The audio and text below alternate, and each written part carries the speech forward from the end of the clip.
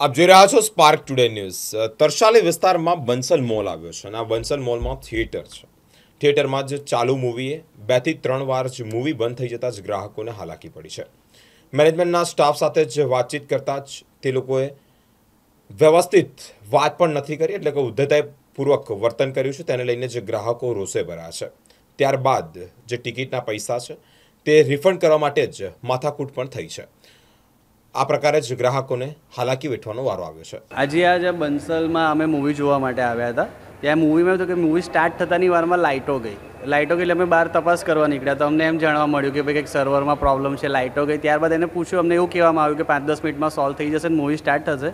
જે વાતને અડધો કલાક થયો, એમાં પણ એમના સ્ટાફ તરફથી કોઈ સરખો રિસ્પોન્સ મળ્યો નહીં. અમે મેનેજર માટે પૂછ્યું, તો મેનેજર અવેલેબલ નથી. પ્લસ જે અહીંયા ફ્લોર સ્ટાફ છે, બહુ જ રૂડલી આન્સર આપે છે. એ થયું, એટલે પછી જેમ તેમ કહીને કોમ્પ્રોમાઇઝ કર્યા બાદ અડધો કલાક બાદ મૂવી ફરી શરૂ થયું.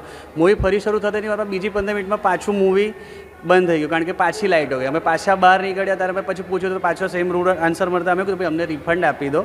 તો રિફંડ માટે પણ એમને કીધું કે, તમે નીચે લાઇનમાં ઊભા રહો. રિફંડ જ્યારે ટિકિટ ફાળવાની હોય છે, તો ત્રણ ત્રણ કાઉન્ટર ચાલુ હોય છે. રિફંડ માટે એક જ રાખ્યું એમાં પણ જે મેડમ રિફંડ આપતા હતા, એટલું રૂડલી બિહેવ કરતા હતા બધા સાથે. બધા બહુ કસ્ટમર અહીંયાથી નારાજ થઈને ગયેલા છે. અને બીજી વસ્તુ, જ્યારે રિફંડ માટે એટલી લાંબી લાઈનો હતી સર ત્યારે અંદર અંદર બે લેડીઝને જેન્ટ્સ વચ્ચે થોડીક મગજમારી પણ થઈ. ત્યારે મોલ કે મૂવી મલ્ટીપ્લેક્સ તરફથી કોઈ પણ સ્ટાફ છોડાવવા માટે પણ આવ્યો નથી. એ કસ્ટમરોને જાણી જોઈને હેરેસ કરવાનું આ કૃત્ય બનેલું છે જેને અમને બહુ જ દુઃખ પહોંચેલું છે અને અમે આવી આશા નથી રાખી પણ એમનો કોઈ અમને કોઈ પ્રોપર આન્સર આપ્યો નથી કોઈ પ્રોપર રિસ્પોન્સ મળ્યો નથી. ઉપરથી અમને એવી ધમકી આપવામાં આવી કે અમે તમને પોલીસને સોંપી દઈશું તો તમે સીધા રહેશો. અમે હું અને તું જોવા આવ્યા હતા. નિકુંજ પટેલ.